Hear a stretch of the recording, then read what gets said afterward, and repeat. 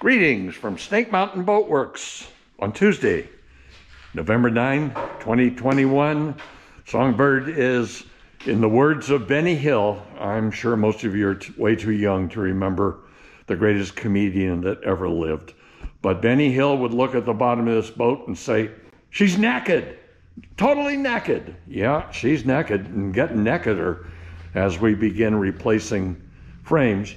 But Rick's been working on the bottom bow all day today.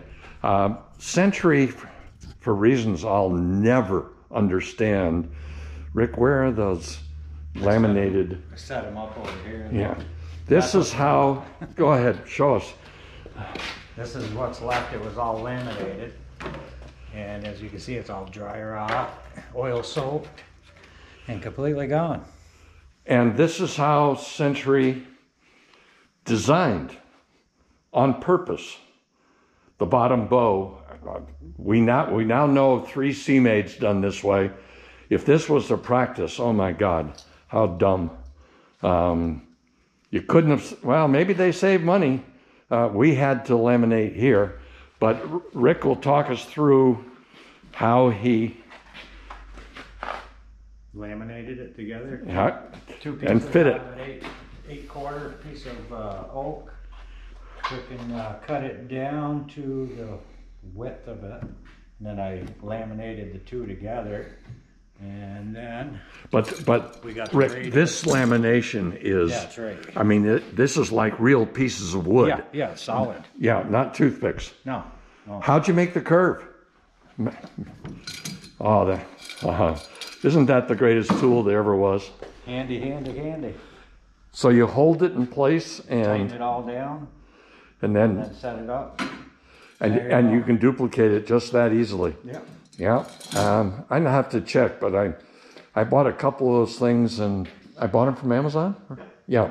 Um, so what's left here, Rick?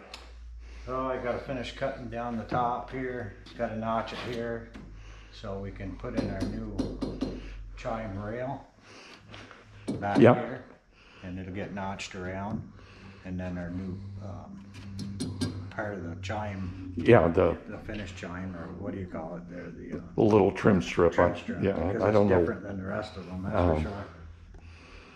So when Rick gets finished back here, I want to tell you, um, Songbird's going to have a. I won't be gross. She's going to be have a tough transom. Let's call it that way.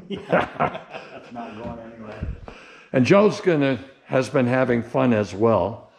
Uh, where'd you start, and where are we going to end So up? I started with a hammer, and I just started tapping any frame. If the ball peen hammer, if you hit it lightly and you get oil that's coming out of it, replace it. So I started here because this one was in four pieces, and then I'm moving forward off of that. Um, this one I have a temporary fix in here just to kind of get everything mocked up um, for the new framing, and I still got to cut out the notches for the battens that go through the bottom of it. Um, but from here, we have two more frames right here that need to be replaced. Everything else um, is pretty still structurally good. There's not a whole lot of oil or really basically anything in that. what is that I see in front of your left shoulder? So this is probably one of the coolest little sisters I've ever seen. I turned it. I Oh yeah, you flipped it over that way. This is our lovely chine um, that has just been sitting and rotting for quite some time now. Um, as you can see, what happened is they started getting rot, and then some kind of sister got put in here, which is uh, quarter inch Luan. Um, it's not even marine; it's just what you put down for subflooring.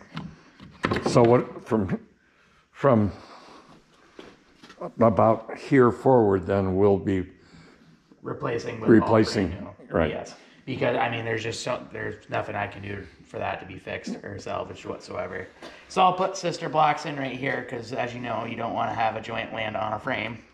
Uh, so this way there'll be uh, two lags going through here onto another block, and same for it up here. So that way it'll be 5200 back in in Now, Joe, what do you do right here? I, I realize this one's must be replaced. Yeah, this one's replaced. So What do we do right here? Because I don't like what I see. No, basically with this, uh, I'll check and poke through it, see how how much rot is in it, and I might be able to cut out a good portion of it and put a sistered um, Dutchman in it with another um, frame underneath it. And this one, as you can see, I mean it's it's brittle, it's crumbly, it's sh- shot. Yeah. So that wall had to be replaced as well. Oh, and you haven't had the pleasure of ripping these two th- hideous things out yet. Now, all I've had there's actually one up here and right here. Oh, There were several of so them you're halfway through. halfway through. Well, And obviously, right where our engine was sitting, this is probably the worst of it. I mean, when you can take your finger and you, you can get oil, and even your nail, you can take your nail and it just fills up with oil. now, oh, hey, here's another repair. This one's nice.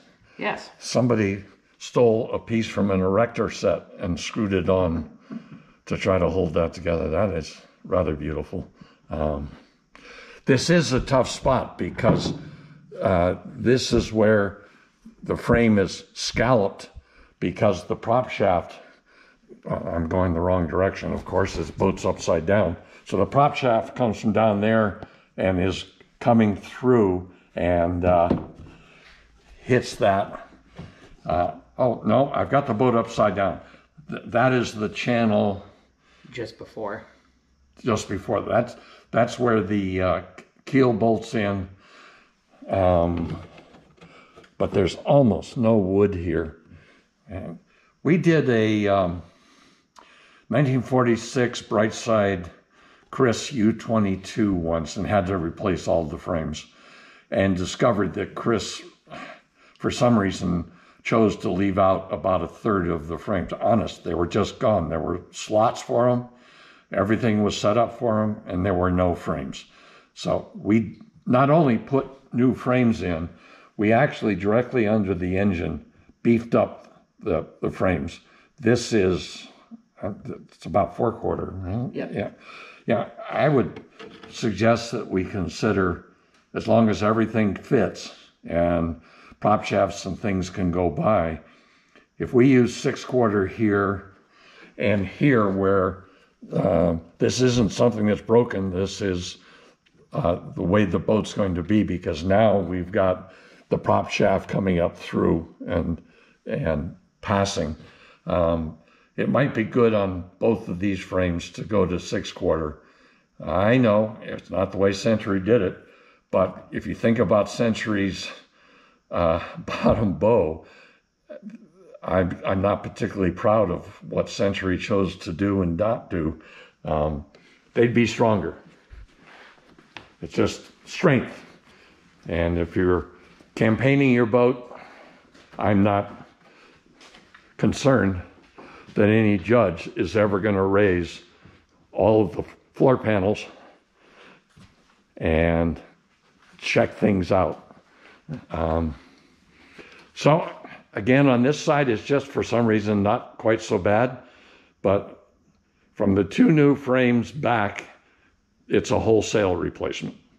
And once we're finished and have put a 50 proper 5200 bottom on here, this puppy is going to be stiff, fast, and give these owners a wonderfully soft ride across the water. So that's our update on our 1948 18 foot Century Sea Songbird. Thank you so much. Bye bye for now from Snake Mountain Boat Works.